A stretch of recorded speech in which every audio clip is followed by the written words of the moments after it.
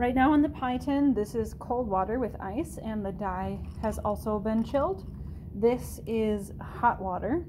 In the pan, we have room temperature water. I'm going to take a drop or two of dye and place it near the cold beaker. And you need to watch how convection happens as the dye moves through the water. So notice what direction the dye is moving towards. And once it gets there, notice how it moves.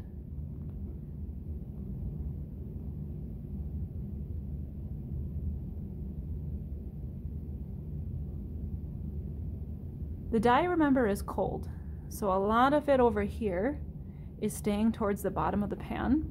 And as it's come closer to the hot beaker, that dye is warming up because the water right there is warming up and it's starting to rise a little bit.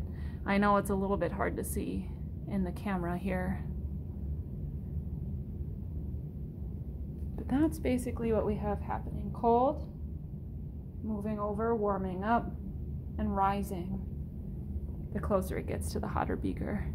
If you can see right here, this is all sitting on top of the water. That thick dye, everything is running along the bottom of the pan.